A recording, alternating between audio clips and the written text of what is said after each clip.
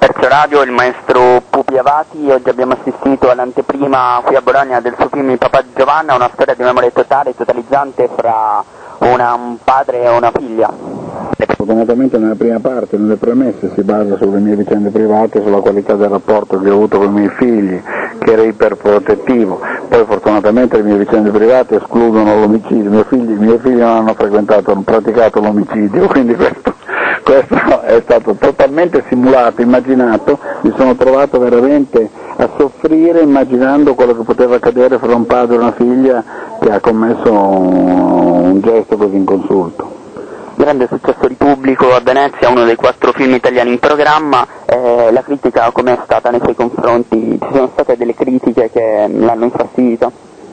Ma c'è qualcuno a cui il film è piaciuto meno, perché non è che c'è stato all'unanimità, come non succede quasi mai, credo. Il bilancio è estremamente comunque positivo anche sotto il profilo critico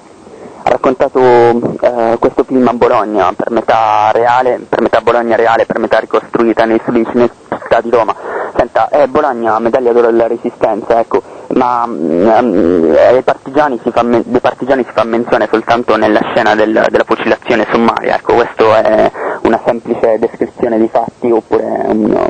in qualche modo un giudizio sulle vicende? No, io penso che il cinema che si è occupato con attenzione, competenza, approfondendo queste tematiche, eh, ci sia già stato, ci sono stati film importanti che hanno raccontato quegli eventi dolorosissimi, terribili. E, e quindi mi sembrava, la vicenda che volevo raccontare io era una storia di un padre e una figlia, non era la storia della, brigata, della, della compagnia di, di, di, di, di Salò delle quindi senza, evitando assolutamente quelle che potevano essere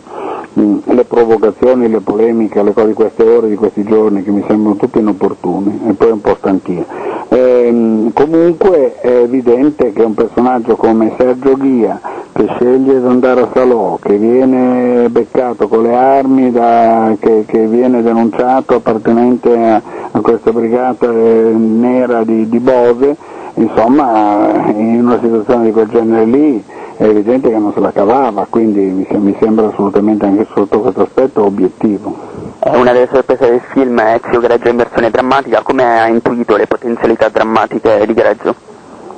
Ma Greggio sono otto anni che chiede di fare un film con noi e io non avevo mai il personaggio adatto, finalmente questo film l'ho, l'ho trovato, gliel'ho scritto un po' su misura perché questo Sergio Ghia somiglia molto a Greggio, anche se Greggio non è fascista, se Greggio non ha, non ha, mm, non ha questo, questo, background, però insomma è un piacione, è un estroverso, è uno capace anche di amicizia, ha, ha queste, queste è, un, è, un, po' un gasman del, del cinema di quegli anni. E quindi eh, la fortuna di, di, di, trovare un attore